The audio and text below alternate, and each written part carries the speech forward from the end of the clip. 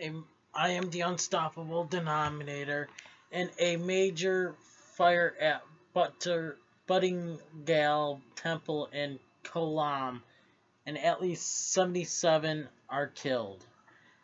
Um, I pretty much don't watch. Well, well, actually, now it's 80. They're saying 83 an hour ago. Uh, 83 dead. 350 are injured in a fire. Blah blah blah. I don't know because half the stuff is in Spanish and everything. At least I get to see that our freaking uh words that are English. But yeah, I am the Unstoppable Denominator. Thank you for watching. Please subscribe for more news and everything else. Like this video, subscribe to this channel, leave a comment down below, and talk to you all later. Unstoppable out.